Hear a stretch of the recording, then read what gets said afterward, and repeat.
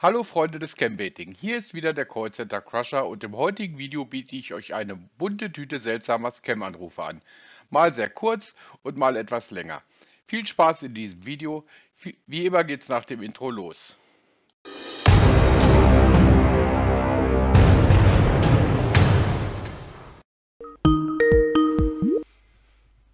Ja bitte? Hallo, ich bin zu erreichen, Herr Boldiger. Wie bitte? Wen wollen. Sie sprechen? Mit Herr Paul Trigger. Was? Paul Rüdiger ist mein Vorname. Wir kennen uns ja nicht, daher sprechen Sie mich bitte mit dem Nachnamen an. Hallo.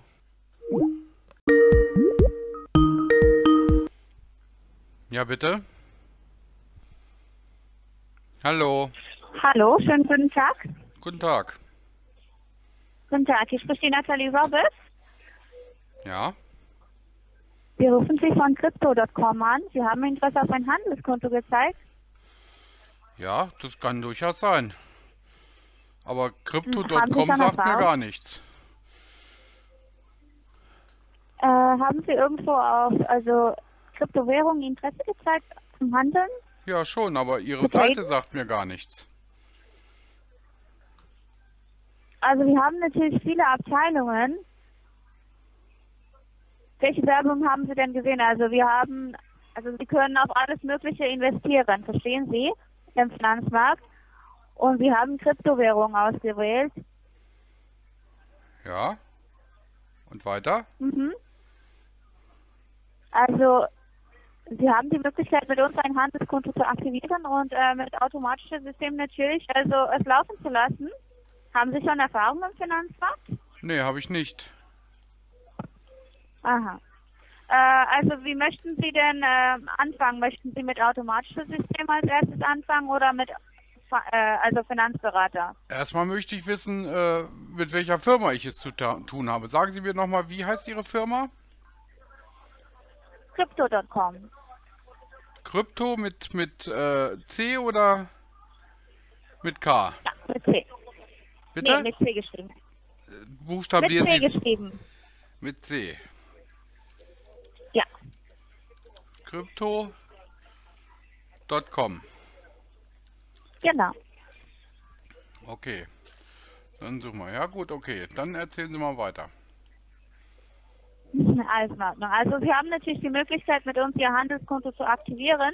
Ähm, nachdem Sie aktiviert haben, äh, können Sie natürlich auswählen, ob Sie es mit automatischem System machen möchten oder mit einem Finanzberater arbeiten möchten.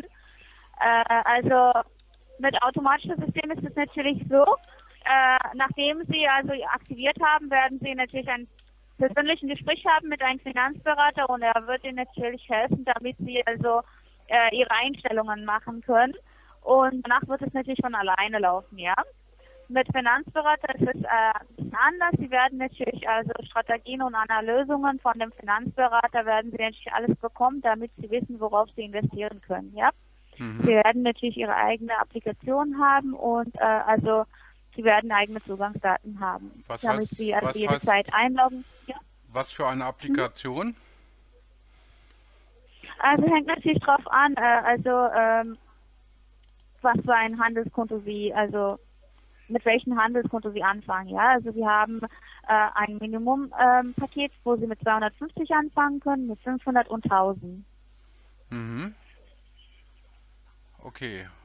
Also genau, also ähm, nachdem Sie ausgewählt haben, mit welchem ähm, also Betrag Sie weitermachen, wird sich natürlich ein Finanzberater in Verbindung setzen und Ihnen ähm, erklären, wie es weitergehen wird, ja.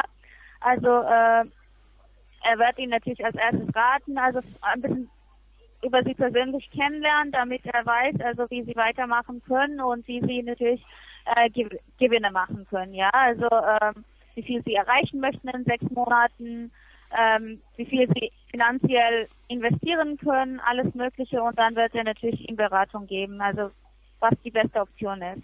Hm, okay. Äh, wo sitzt Ihre Firma denn? Wir sitzen in Berlin. In Berlin. Ja. Ja, aber äh, warum rufen Sie nicht mit einer Berliner Nummer an?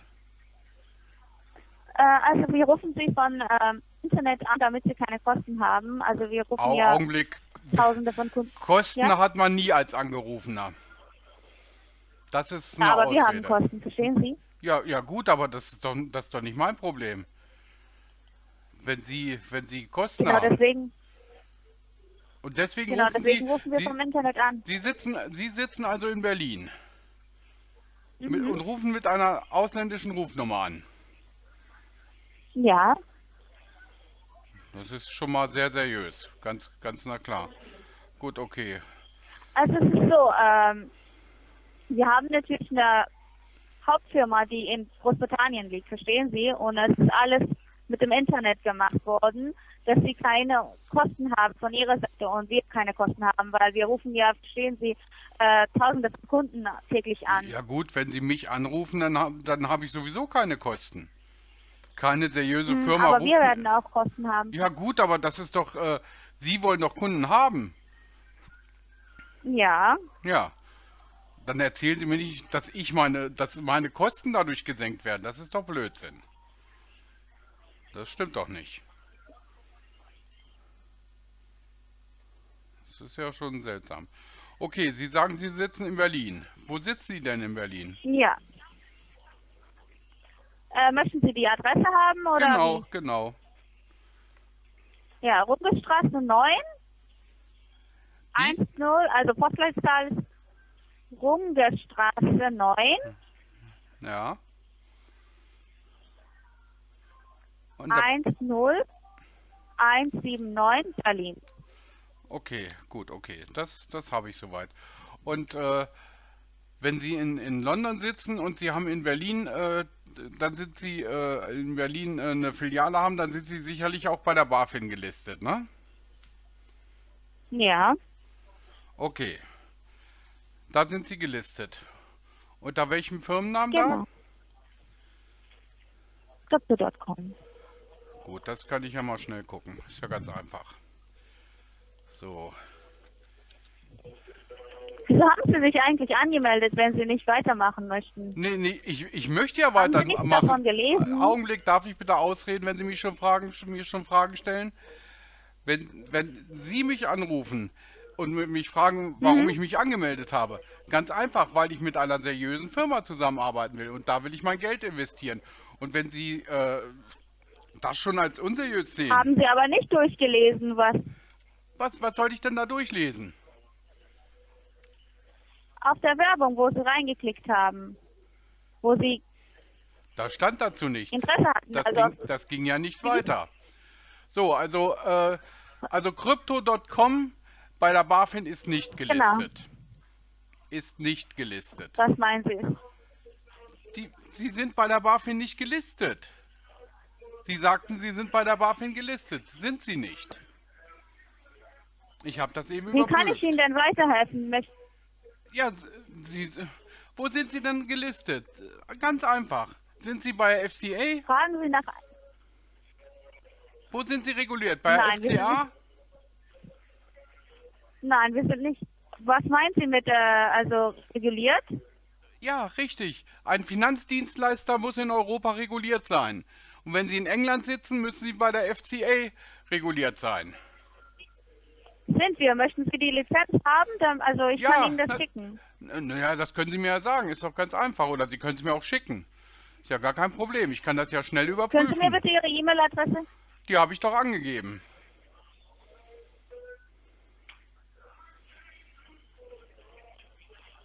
Können Sie es nochmal wiederholen, Ihre E-Mail-Adresse, damit ich es Die habe ich doch kann? angegeben. Sagen Sie sie doch und ich äh, sage dann, ob sie richtig ist oder nicht. Joachim. Punkt Ringsbacher Bergheimer, ja? Ringsbach At Bergheimer. gmail.com. At Ja. gmail. do- Nein. GMX. gmx.de. GMX auf. Ah, Moment, ich werde Ihnen die E-Mail schicken. Können Sie jetzt auf die E-Mail reinsehen? Natürlich kann ich das. Gar kein Problem. Ah, Moment bitte. Haben Sie noch weitere Fragen, bis die E-Mail ankommt? Ja, naja, erstmal muss die E-Mail ja ankommen. Dann, kann- dann habe ich bestimmt noch weitere Fragen. Dann schicken Sie doch. So lange kann es ja nicht dauern, eine E-Mail zu schicken. Einen Moment bitte. Sie müssen ja was eingeben, verstehen Sie? Ja, das können Sie ja machen. Sind Sie noch da? Hallo. Ja, ich bin noch da. Die E-Mail scheint falsch zu sein. Können Sie es nochmal wiederholen? Das ist alles klein und zusammengeschrieben. Natürlich. Und die E-Mail ist richtig. Mhm. Ich, vielleicht haben Sie ja falsch eingegeben. Buchstabieren Sie es doch einfach nochmal, dann sage ich Ihnen, ob es richtig ist. Also Joachim. Punkt, ja. Ja, Linksbach Bergheimer ja, gmx.de, ja? Richtig. Ist richtig, oder? das ist richtig.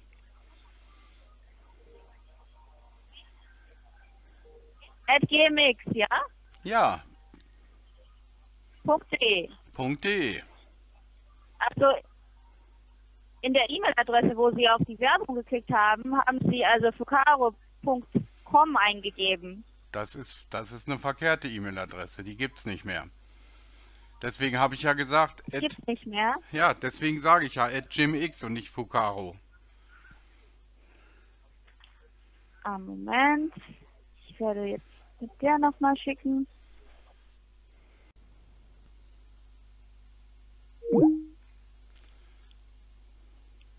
Und schon hat sie aufgegeben. Ja, bitte. Hallo, guten Tag. Guten Tag. Äh, rede ich gerade mit Julia Mertens? Ja, wer ist denn da bitte? Ich bin, Also, mein ich Name bin ist- der Mann. Ja, okay, super. Also, äh, mein Name ist Brian Morrell, ich rufe euch von der Europäischen Haupthandelszentrale Augustkapital an.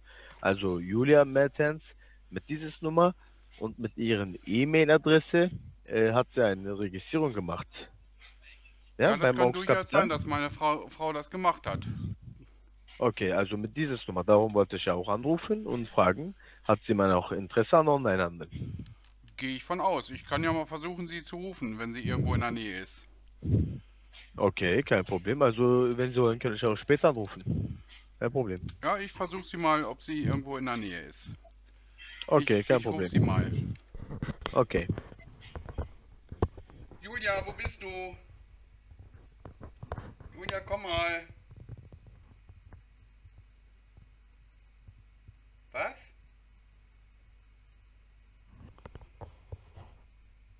Ja, sie ist, glaube ich, äh, gerade im Bad. Okay, kein Problem. Wie gesagt, dann Aber ich auch äh, später an, sie, ja? kommt, sie kommt ja gleich bestimmt. Oder versuchen Sie es in, in fünf Minuten nochmal. Okay, kein Problem. So machen wir es, ja? Okay. Okay, ich wünsche euch einen guten Sonntag. Jo, danke. Ciao, ciao. Ciao. Ja, bitte? Hallo, äh, könnte ich mit Julia Mertens sprechen? Ja, Augenblick, das ist meine Frau. Die ist, äh, ich rufe sie mal eben. Julia. Bist du Ja, ja, da? Komm mal ans Telefon. Hier ist jemand Ja. für dich. ja, Moment, Moment. Erstmal Hände waschen. Ja, sie kommt jetzt. Okay, danke schön. Hallo? Hallo, Frau. M- Hallo?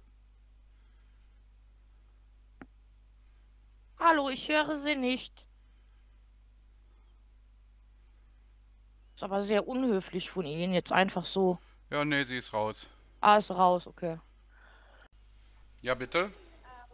Hallo, guten Tag, Herr Mesakova. Äh, ich bin El Eli Roy, Ihre Kontomanagerin. Also, Sie sind bei uns online gewesen und das bedeutet, Sie haben Interesse auf der Finanzmarkt zu handeln und Sie wollen Geld verdienen, stimmt? Ja, gut. Äh, bei wem online? Sie haben ja noch gar nicht gesagt, bei welcher Firma. Also, CryptoArt. Sie haben Interesse geäußert auf unsere Werbung CryptoArt und unsere Plattform lautet Crypt, äh, Current Coins. Nee, also in Also, der Sie Werbung haben habe ich jetzt Ihre... in der Ja, ja, Werbung bitte? In der Werbung habe ich nichts von Kryptoart oder so gelesen. Also unsere Plattform lautet Current Coins.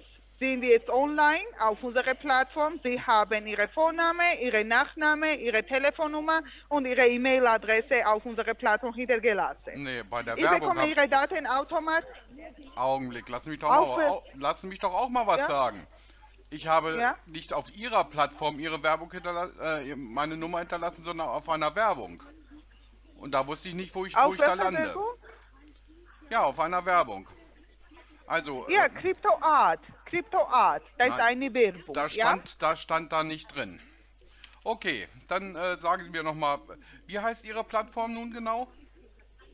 Current Coins, das ist unsere Plattform, aber unsere Werbung lautet Crypto Art.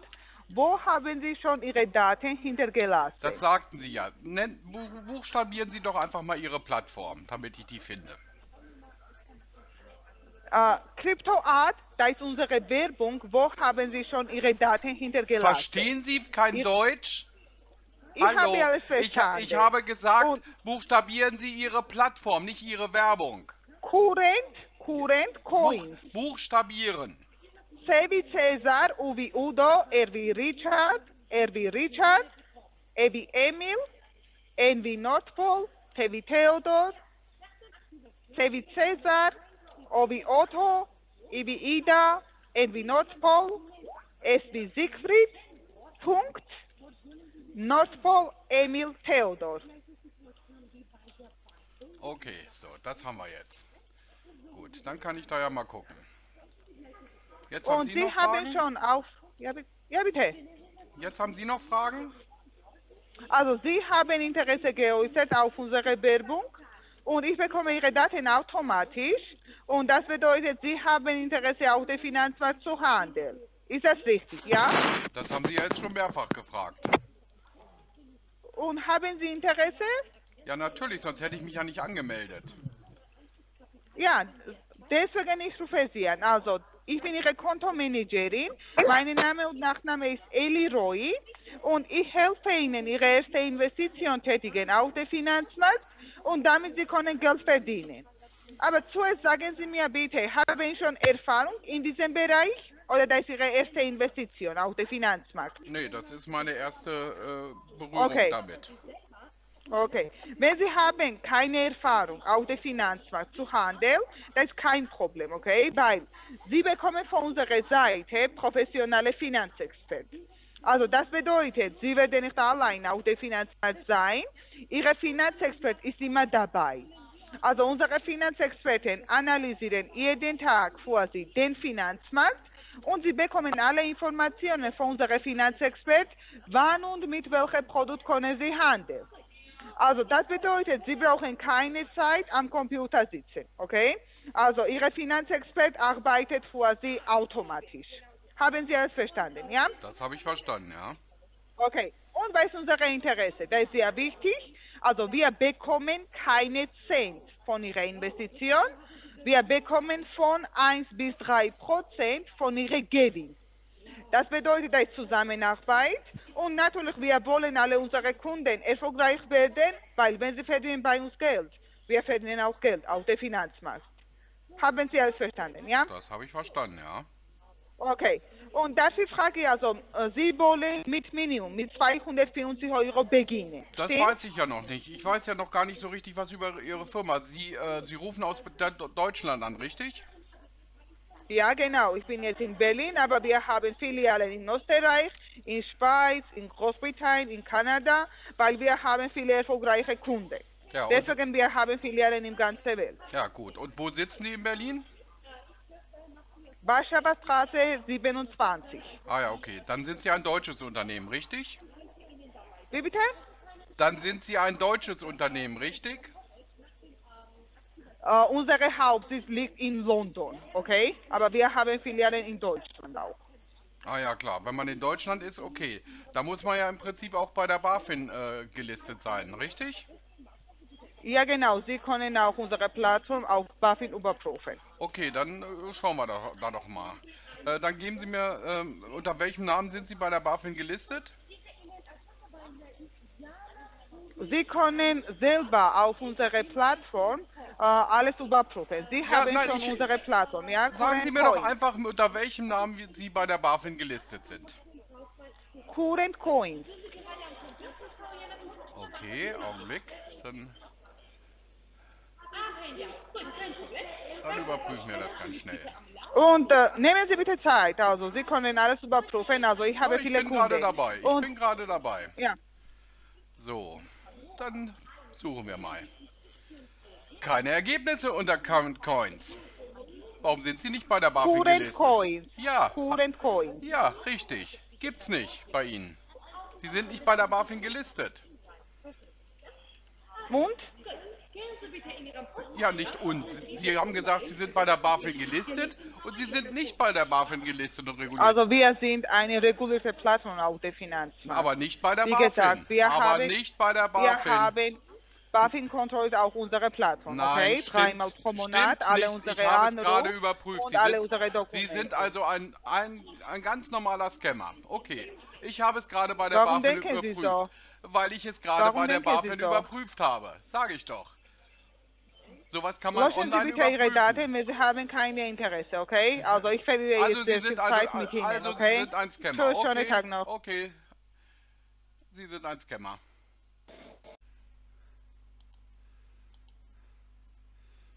Ja, bitte?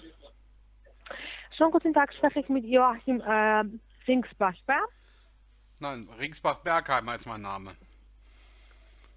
Ringsbachberg. Bergheimer. Also bin ich falsch verbunden, ja? Ringsbach-Bergheimer ist der Name. Was steht denn bei Ah, Ihnen okay. da? Okay, Moment, bei mir steht, ganz kurz, Ringsbachberg steht bei mir.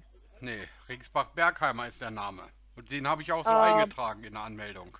Ah, Ringsbachberg, ähm, Ringsbachbergheimer. Ja, Genau, genau. genau, genau, genau.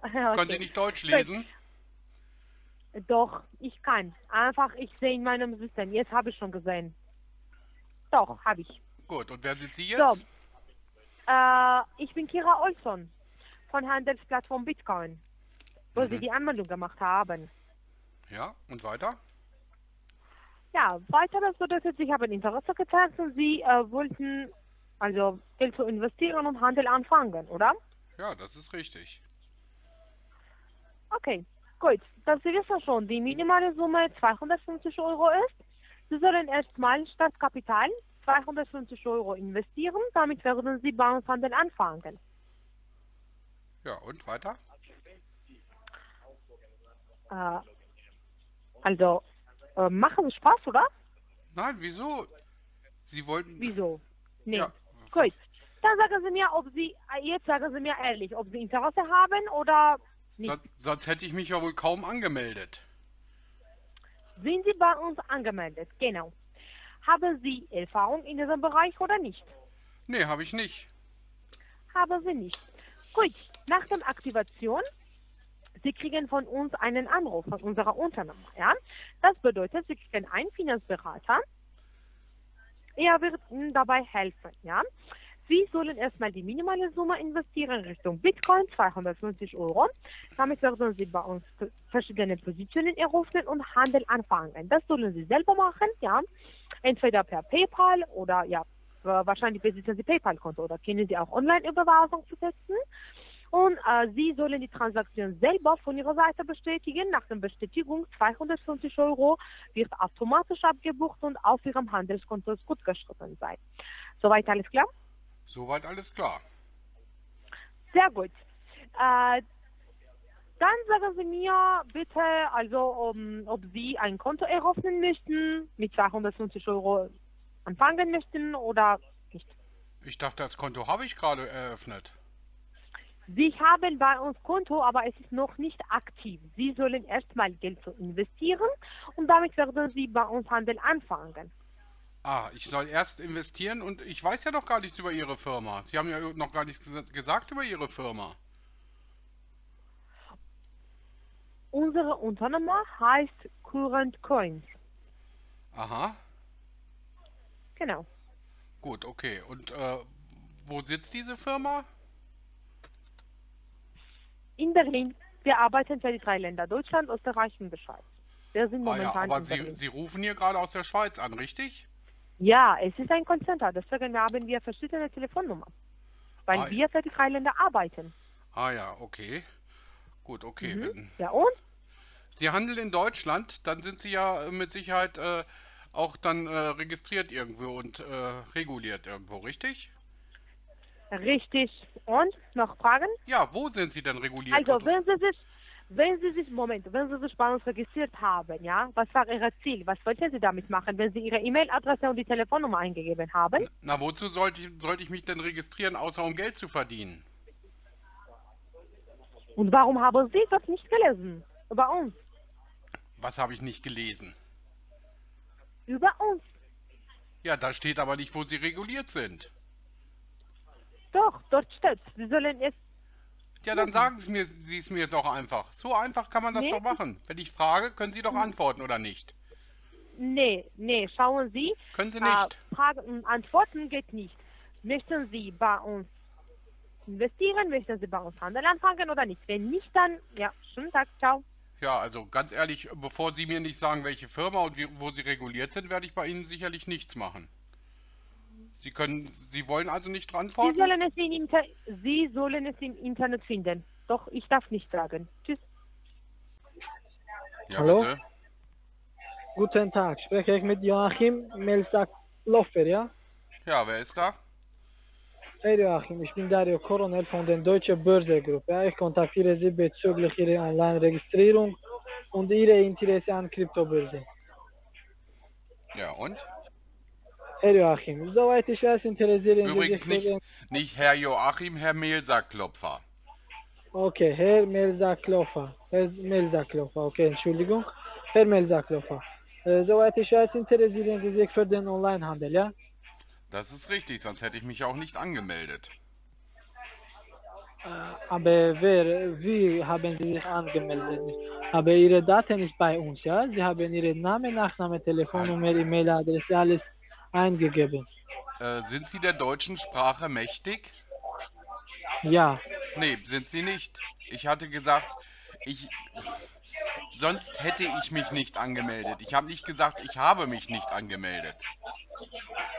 okay. Deswegen frage ich Sie, äh, wie haben sich nicht angemeldet, aber... Sie verstehen gar kein Deutsch. Sie wollen bei der deutschen Börse sein und verstehen gar kein Deutsch? Sie hören gar nicht, was ich sage. ja, und? Ja und?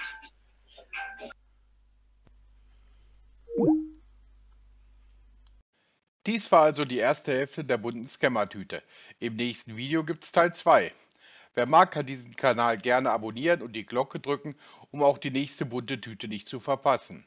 Habt eine schöne Zeit, bis dahin, lasst es euch gut gehen.